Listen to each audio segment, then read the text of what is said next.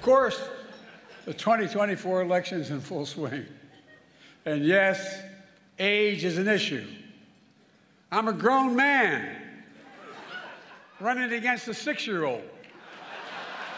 美国年度记者协会晚宴，拜登当着所有记者面前大开自己年龄玩笑，更是揶揄川普的心智年龄只有六岁。不过他恐怕怎么也没想到，在度过和记者愉快餐叙的一个晚上之后，隔天马上迎来民调震撼弹。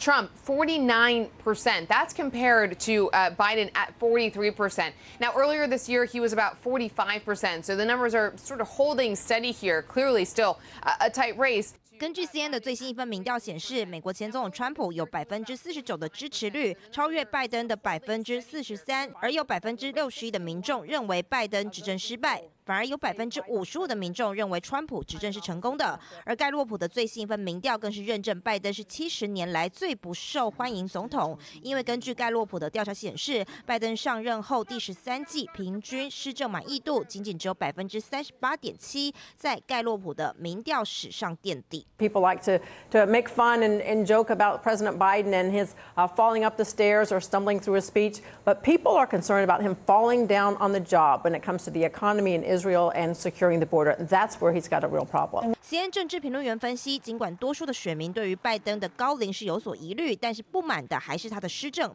尤其是不满拜登政府对加萨战事的处理态度。因为根据 CNN 的民调，有高达百分之七十一的选民不认同拜登处理加萨战事的态度，三十五岁以下的年轻族群占多数，高达了百分之八十一。